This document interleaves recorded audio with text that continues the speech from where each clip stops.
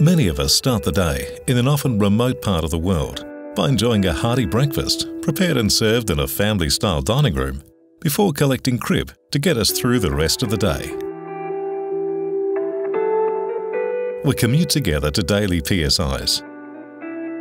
We determine the shift's priorities and highlight key safety concerns. Light vehicle access only due to new Northern Pit establishment. We encourage participation from our people to ensure our communications are well understood to meet the day's objectives and keep everyone safe. Someone told me what we need to be doing on a pre-start. So what's that first point of contact when you do a pre-start? Isolate.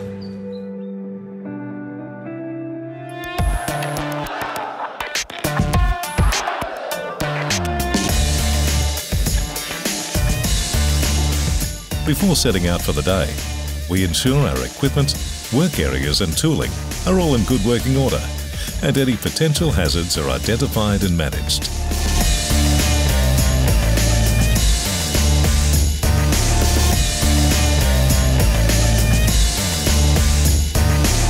Whether we're jumping in a dump truck as a DTO or inspecting the work area in an open pit or a new decline in our underground operations. In everything we do, we're always sure to prepare and work safely. Definitely important to speak up. Information sharing doesn't cost anything. You, know, you don't have that feeling of regret afterwards where you could have made a difference. I think it's all about going home safely to your family. As a mining contractor, we provide career pathways to set people up for success. I started as a greenie. I had never been on a mine site, never even seen a dump truck before. Our dedicated training teams regularly introduce new operators into mining, apprentices into trades, and upskill experienced people through our leadership programs to further careers and prosper. So Macmahon was just offering um, Cert 3, uh, surface mineral extraction. Put my hand up for that.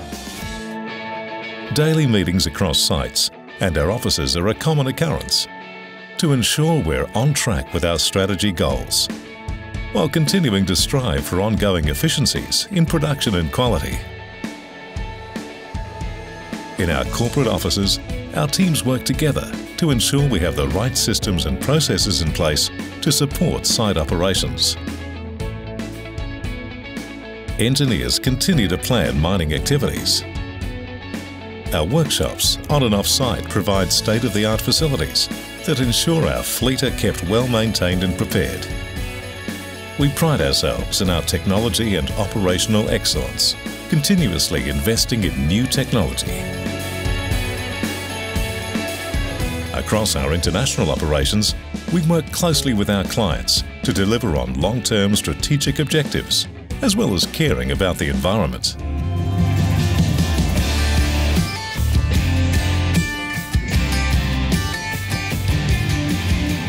As day shift comes to an end, we head back to camp for the night to enjoy a drink with mates or a workout at the gym and a well-earned hearty meal.